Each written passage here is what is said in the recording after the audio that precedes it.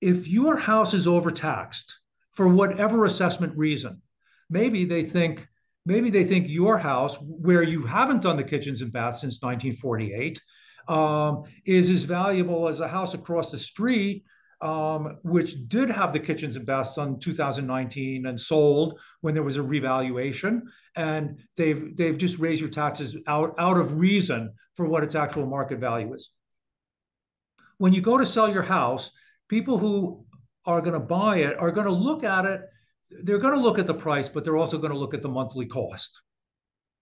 If you can improve the T in the PITI by getting your taxes lowered, you're going to have a bigger audience to buy your house, or you're going to be able to charge more principal and more price because the formula is going to come out the same because you've neutralized the tax factor.